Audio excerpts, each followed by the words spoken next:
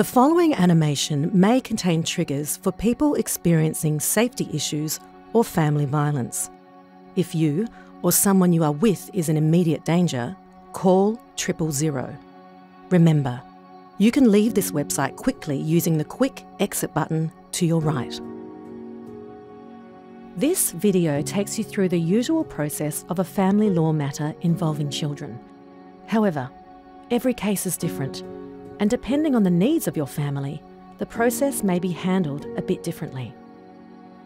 If you find yourself here at court, it can be a stressful time. So I'm going to take a few minutes to explain what you can expect once the process starts.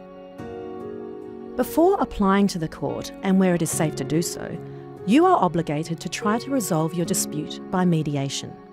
You can find more information about separating smarter here. But if you do find yourself at court, there are certain steps you will need to take, including forms to complete and information you need to share. You will need legal advice and support. You can begin with services such as these, or engage a solicitor experienced in family law.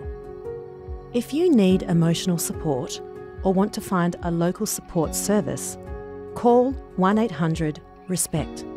And if you need legal help or support with a family law issue, call the Family Advocacy and Support Service in your location. Okay, so why does the court need information? At court, the primary focus is prioritising everyone's safety and making decisions in the best interests of children. To help the court make decisions, you need to tell us about any family violence and your safety concerns. Here's how. When you file your first documents, you will be required to complete a Notice of Child Abuse, Family Violence or Risk form. You need to share the details of what you are experiencing and your concerns, and include your evidence in an affidavit. This will be used in court and is seen by the other party. Completing these documents openly and honestly helps the court take account of family violence and risk when deciding your case. In a parenting case, you may also be asked to answer some important questions about risks such as family violence by completing a confidential online questionnaire. These answers are not shared with the other party. Based on your responses, you'll be guided towards many support services that you or your children might need. And your matter will be case managed in a way that is consistent with the identified risks. So now you're in the court system, I'm going to walk you through what a general court pathway might look like. Depending on the type and seriousness of risk, your court pathway may vary.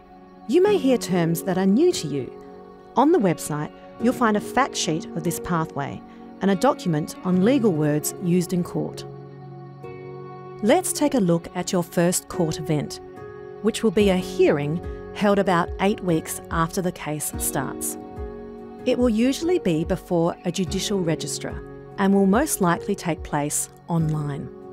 However, if your case is urgent or there is a serious risk of harm to you or your child, your first court event may take place within a few days of filing and will be before a judge or senior judicial registrar. They will have read the documents you have filed and may make orders for additional information to be provided before the matter can progress further. So, what happens next? Your case may require an interim hearing where family arrangements are put in place until a final decision is made. Orders might also be made for a child impact report to be prepared by a child expert. This will help you and the court to hear from your child about their experience and can inform the interim arrangements put in place. While you might think you're about to go to trial before a judge, your case may require further steps. For example, rather than a trial, your matter could be resolved in a mediation. This is a confidential process and will be conducted by a different registrar, sometimes with a child expert. A mediation can also be undertaken with a private mediator or other service provider, such as legal aid or a family relationships centre. This could be your best opportunity to take ownership of your dispute and to influence the arrangements for your child. Resolving your matter through mediation can be done safely, often electronically, and is usually the fastest way to a resolution. If mediation is unsuccessful and it's decided your case requires a decision from a judge, before you go to trial, your material will be checked at a compliance and readiness hearing. A registrar will make orders about what you are to prepare for this hearing. You must comply with the orders. You can feel confident that if your matter goes to trial, there can be protections put in place for your safety. At trial, the judge will consider all the evidence, which may be tested through cross examination. If your case involves family violence, you cannot be cross examined by the other parent but you could be cross examined by their lawyer or a lawyer provided by legal aid. The final decision from the judge will explain how and what has been considered and how court orders promote the safety and well-being of your child. Remember that once court orders are made, they are legally binding and all parties must comply. There are potential consequences if orders are ignored, and there are ways that the court can ensure its decision is complied with. The court takes family violence and the safety of you and your family very seriously. Remember, family violence is never okay. Make sure to watch our other videos to understand more about family violence and the court process.